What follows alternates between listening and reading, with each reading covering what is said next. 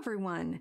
Today we are going to take a look at this beautiful new book by Christine Karron. This is an artist edition put out by Blue Angel Publishing. You can find it on sale now on their website, or if you don't mind waiting a bit, you can also purchase this book on Book Depository, where it'll be released in April. Christine was amazing and sent me this book to take a look at with all of you. One of the things I'm excited about is there are four new images exclusive to this book.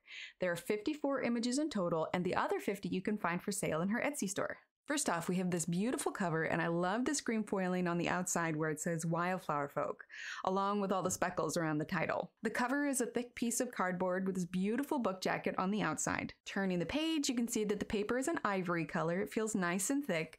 I had someone tell me that it was the same paper as Jasmine Becket-Griffith books. I feel like it's got a bit of tooth, and today we're going to be testing to see how the paper holds up to alcohol markers. For now, though, I'm going to turn up the music a bit and we're going to flip through this together and I'll let you know which images are new to the book and then we'll jump in with our coloring.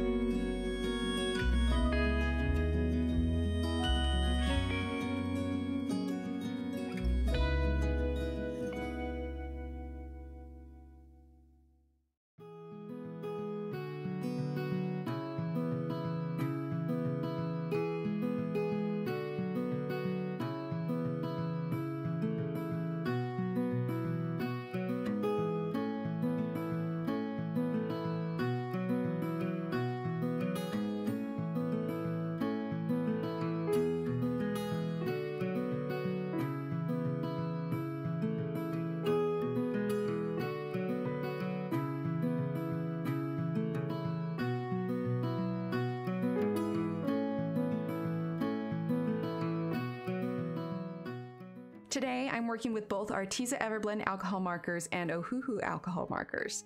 This picture brought a very kind of springy vibe, but I could see how you could create a really beautiful sunny halo effect. This is one of the four new images exclusive to the book, and it did not disappoint. The book itself has thread binding, which is fantastic because you don't need to worry about pages falling out. As with most new books, I did need to bend the spine a bit to have it lay open, but what's done, it sat very nicely.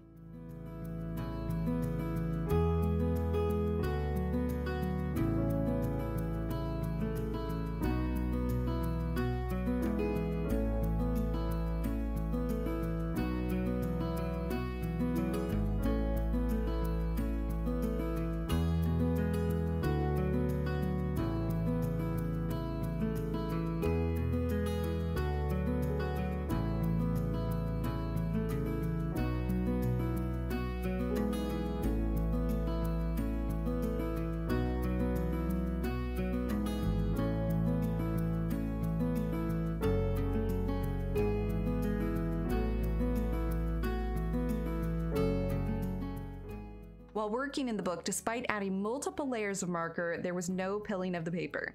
As you can see, there was bleed through to the other side, but when using alcohol markers, I have yet to meet a piece of paper that didn't bleed through.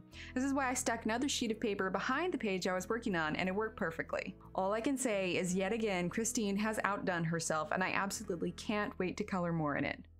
That's everything for today. The links for purchasing this book can be found in the description below. Don't forget to like and subscribe, and thanks for watching.